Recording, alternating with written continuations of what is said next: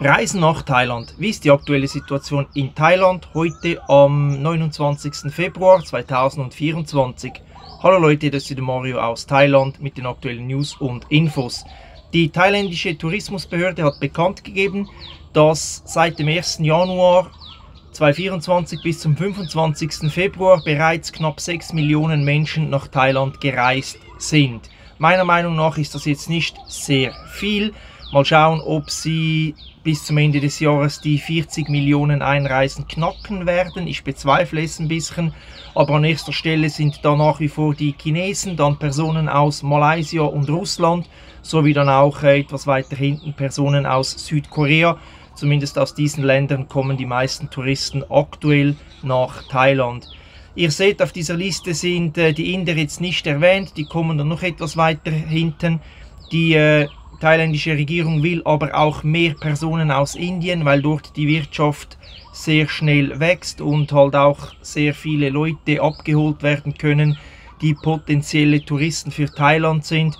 Und da versucht man auch in Zukunft mit äh, einer visafreien Einreise mehr Personen aus Indien nach Thailand zu locken. In Sachen Alkoholkonsum plant die Regierung eine neue Verordnung. In dieser soll auch geregelt sein, dass auf alkoholische Getränke bzw. Weinflaschen, Bierdosen etc.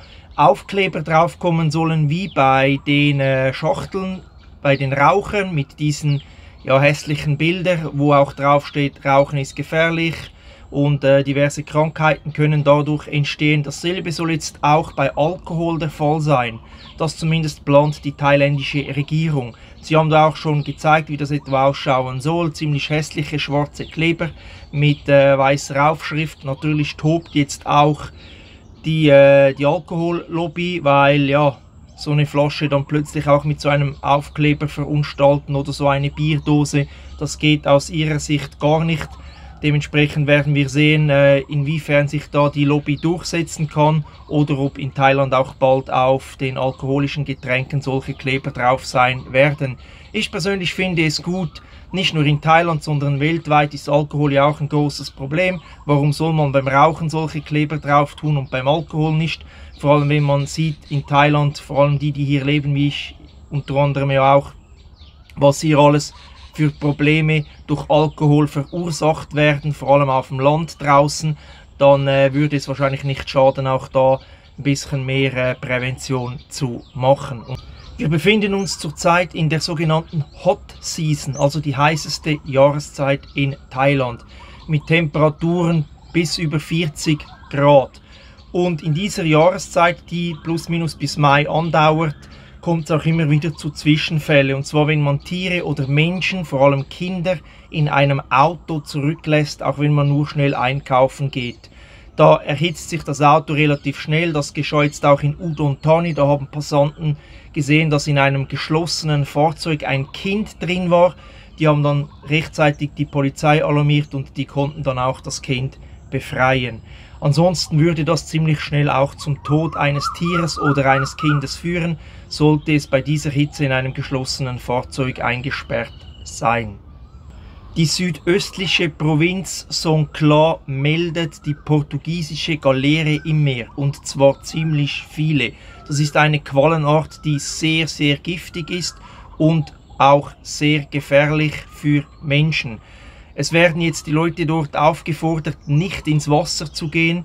Was man aber auch sagen muss, das ist der Golf von Thailand. Klar, das ist ganz unten im Grenzgebiet zu Malaysia, aber nicht allzu weit entfernt liegt auch Koh Samui und Koh Phangan im Golf von Thailand. Also ich würde auch dort zurzeit etwas vorsichtiger sein, denn die Chance ist groß, dass mit Strömungen natürlich auch in den Gebieten plötzlich die Würfelqualle oder in diesem Falle jetzt die portugiesische Galeere vorkommt. Vor allem wenn Sie hier über eine große Ansammlung von diesen Quallen berichten.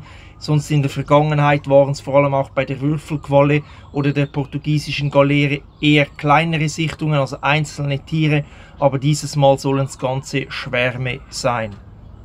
Das Verkehrsministerium plant eine Veränderung der öffentlichen Verkehrsinfrastruktur in Bangkok und zwar wollen sie das äh, Ekamai Busterminal und Moschid 2 Busterminal oder Terminal verlegen und zwar zum Apivat Central Terminal. Das ist der Vorschlag, dass dann da alle Verbindungen zentralisiert sind. Ich finde das eine sehr gute Idee.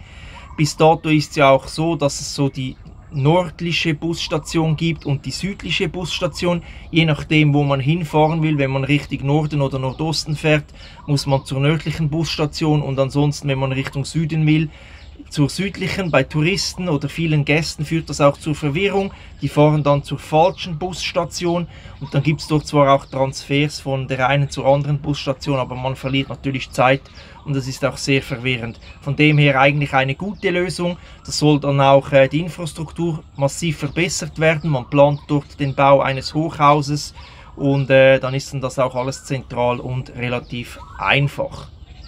Eine sehr erfreuliche Nachricht wieder aus dem Kenkrachan Nationalpark in Pechaburi. Und zwar haben dort Fotofallen, aber auch schon wieder Touristen wilde Tiere gesichtet.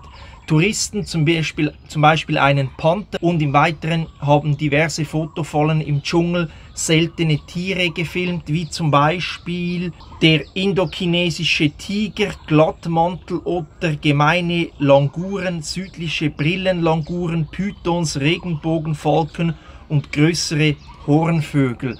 All das sind Anzeichen, dass die Biodiversität und natürlich auch die Tierwelt im Kenkratschan Nationalpark, ergo im Dschungel, sich massiv äh, verbessert und eben auch immer mehr wilde Tiere sich dort äh, offensichtlich vermehren und einen guten Lebensraum gefunden haben.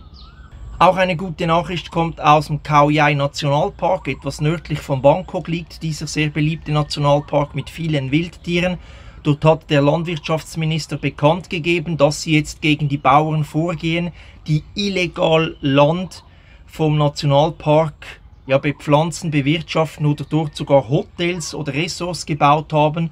Und äh, er hat jetzt gesagt, alles was ohne Genehmigung, also im Nationalpark bekommst du sowieso in der Regel keine Genehmigung für ein Ressort oder Hotel, aber alles was dort gebaut wurde, soll abgerissen werden, dann äh, den Bauern, die illegal dort das Land in Anspruch genommen haben, das Land wieder enteignen. Also was heißt enteignen? Es gehört ja gar nicht ihnen, aber halt die dort wieder zu verjagen und das Gebiet halt ganz klar als Nationalparkgebiet zu deklarieren und auch zu schauen oder sicherzustellen, dass es nicht mehr so weit kommt, dass dort einfach Bauern illegal Land besetzen, weil offensichtlich die Kontrollen nicht gut genug waren.